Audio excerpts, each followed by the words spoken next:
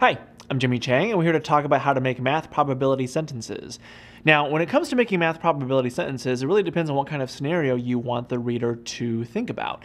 Now, you can use some of the most common probability models, or you can even create your own depending on how you want to uh, construct it. So, here are some illustrations, if you will. Now, if you want to think about flipping a coin, what you can say is find the probability of flipping a coin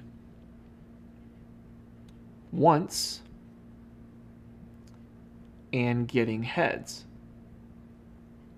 Some of these take a little bit lengthy to write, but the reader will understand where it is you're coming from. Now, you could say once, you can say twice, you know, etc., or you can say instead of heads, you can even do tails. Now, coins are a pretty common model to use when it comes to finding probability. Now, you can also say find the probability of drawing a jack from a 52 card deck.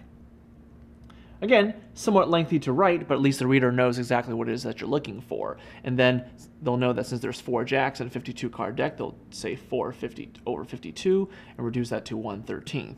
Now, if you don't want to use coins or jacks or cards for that matter, you can think about constructing your own, like you know, using M&Ms, using balls in a cup, you know, things like that, and then constructing it. It'll make writing the scenario a little longer, but at least if you have all the facts, the reader will know exactly what it is that you're looking for. So the possibilities are actually endless when it comes to writing these sentences.